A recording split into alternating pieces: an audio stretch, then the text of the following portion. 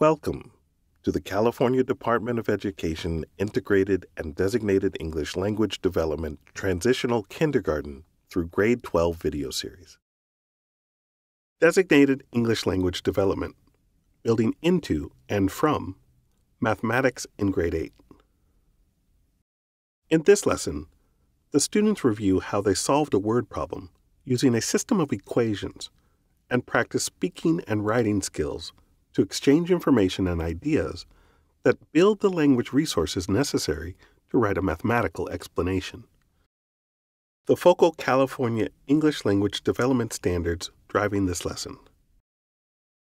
The English Language Development Standards at the bridging level are Grade 8, Part 1, Standard 2, Interacting via Written English, where students engage in extended written exchanges with peers and collaborate on complex written texts on a variety of topics, using technology when appropriate. Grade 8, Part 1, Standard 10B Writing, where students write clear and coherent summaries of texts and experiences using complete and concise sentences and key words.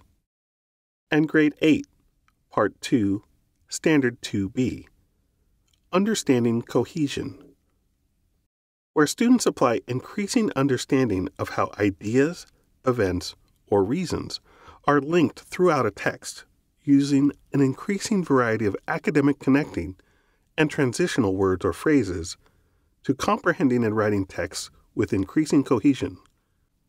Watch how students move from early levels of proficiency toward the bridging levels of these English language development standards throughout the lesson. The supporting California Common Core state standards for mathematics used in tandem with the focal English language development standards. The mathematics standard is Grade 8 Expressions and Equations, Standard 8C. Analyze and solve pairs of simultaneous linear equations.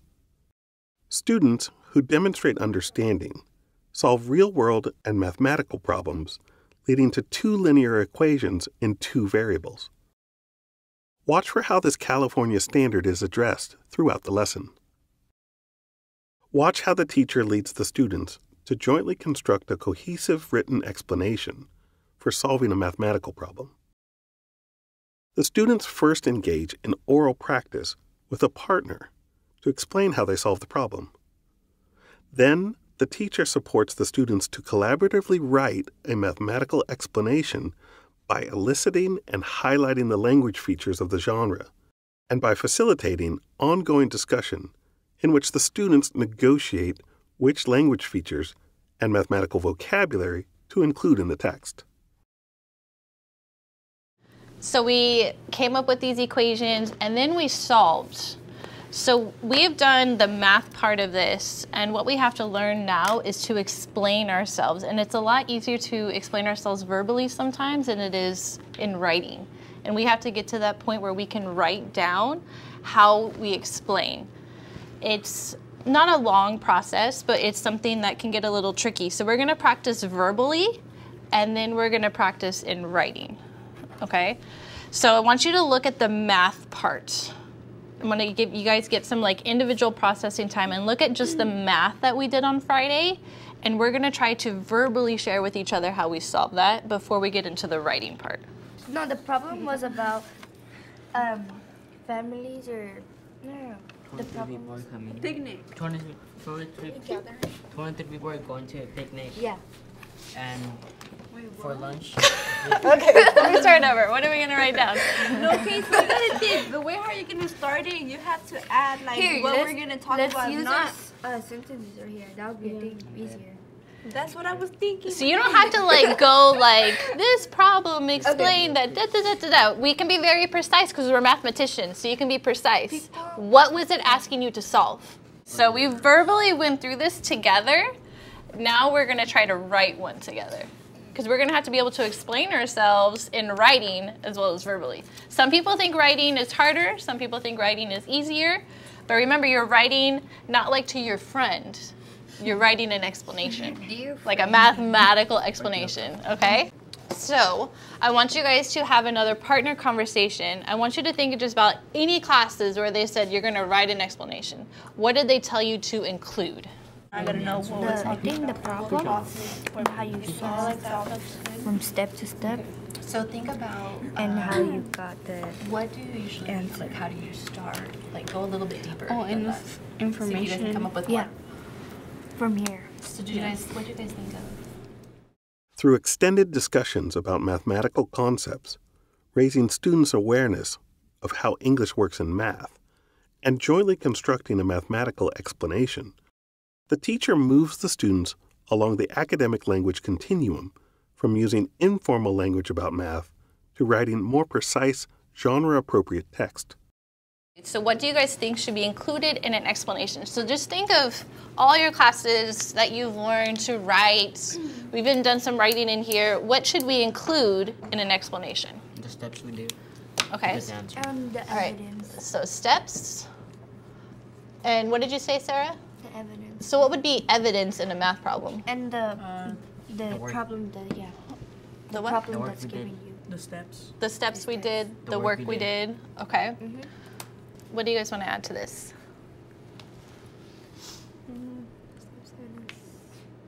uh, keywords, Like what? What do you mean? uh, like total cost or um, how many. So that's telling you like to divide or add. Okay. So keywords. So I'm gonna ask you guys some questions, and you tell me what you think. What kind of um, vocabulary should you use when you're writing? What do you guys think? What kind of vocabulary do you think we should use?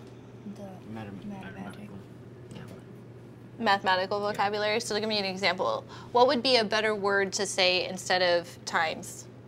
Multiplication. Good. What if what would be another word instead of um, plus? Addition. Addition. Okay, so you want to make sure that you, you use the mathematical vocabulary. Like even this, this is word. What would be better than saying I plugged that in? I add on. No. Uh, you. You um. Like I plugged it in. We talk about the um, last time. I Substitute? Subs- yeah. yeah substitute. Yeah. So we want to make sure we're using the vocabulary that we use to solve verbally and in writing. Okay. So I actually wanted to see what you guys can come up with, and then I have your guide to help you write. So this is your guide to help you write of what should be included in a math explanation, and we're going to try to write one together. So how should we start? Um, we solve the problem by Do we? Well, how did? What's our answer? the and wait the answer or the problem? The answer first, because we solved the problem. What was the oh, problem? The answer for Okay, I'm gonna go with it. The answer. And if you don't like it, you better speak up. speak up, speak up. That's no. Why would you? Why are you gonna start with the answer? You so we could like show how we got the answer. I think you should put what the problem's about. Okay, so start talking and I'll start writing. The problem was about. No, no, the problem was about. The problem. Wait, can we say like the? You guys tell me to erase or keep going. Hamburgers. No, the problem was about um families or no, no, no. The 23 problem people was coming. Picnic. 23, 23, 23 people are going to a picnic. yeah. And for lunch, Okay, let me start over. What are we gonna write down? We're gonna talk about how many people ate hamburgers and how many people ate veggie lunches. Okay, so we needed to find how many, how many what? People, fish, what are we talking about? People Okay, ate hamburger lunches. ate hamburger. Okay, And then And veggie and veggie burger. lunches. lunches. All right. So have we stated what the problem, like a clear like idea? This is what we were trying to find, and we stated our solution. Okay. So so far it sounds we needed to find how many people ate hamburger and veggie lunches. H represented hamburgers, which equaled 20, and V represented veggie, which equaled three. Now what? Explain how we started off. Okay, so how would you do that? First. The first step. First, Yeah, first. what kind of word is that according to our little sheet? The language. It's a language feature. Which and what kind of language feature is that? The sequence. Yeah, do the transition words is what you guys are most used to hearing. Sequential connectives is just means it's a Yeah, sequence. Yeah, To transitions. begin with, we Okay. Now what? I got first. yeah first first First.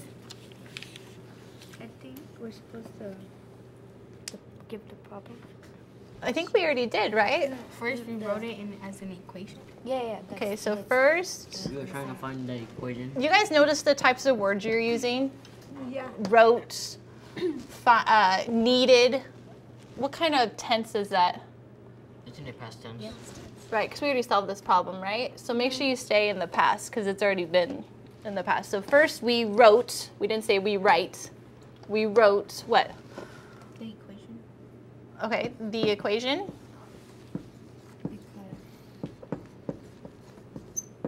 What did we do next? We. tr- Sub, no, we substituted the Secondly, we second. Do you guys like that word secondly? No, like I don't think No. it makes sense. No? Okay. doesn't make sense. Second. No, no. Ne- next. Okay. Next. You guys all kind of re- said that at the same time. Next. What do we do? Guys, come on. Next. I told you, okay, writing's so harder. We already wrote the equations down, so now we gotta put. We, we solved. Next, we get the number that we get the number that is. I think you were the one that had said this, Rohe. Why don't you say what we should do next? Yeah. So look at the paper right here. So we have our equations. What did we do next? I forgot what I said earlier. We solved the equations. We put we multiplied negative six times Oh yeah. all times we the variables. Multiply the negative six with the variables and the twenty-three. Why did we multiply the negative 6? What were we trying to make? Uh, inverse. So you always want to include that to make inverses. And then you would keep going. Beyond the designated English language development lesson, building into and from content instruction. By engaging in designated English language development lessons such as this one, the students are better prepared to engage with math content materials and are more confident to explain their growing math content knowledge through collaborative speaking and writing activities, in small groups, and individually with increasing independence. If the cost is just like it's unknown, how are we gonna do this? Like P plus R, or we're just gonna leave it without the total? But the two variables right here, they already give you the price. So that's So you just gotta figure it out by That's adding like them. that's what I'm trying to say. Like if we oh my bad, if we don't know the cost, we need to try to look for it and add them to we so we could put the total of P plus R equals. You get me? You could also you could just put C for the variable for the price, because the cost is unknown. But you're writing two equations too. So one with the variable and then one with the 6.80 numbers. Reflection and discussion. Reflect on the following questions. First, how did you observe the following focal English language development standards and supporting content standards being implemented in this Grade 8 designated English language development lesson? English language development, Part 1, Standard 2 Interacting via written English. Part 1, Standard 10b, Writing. Part 2, Standard 2b Understanding Cohesion and Expressions and Equations, Standard 8c. Second, what features of designated English language development did you observe in the lesson? Now pause the video and engage in a discussion with colleagues.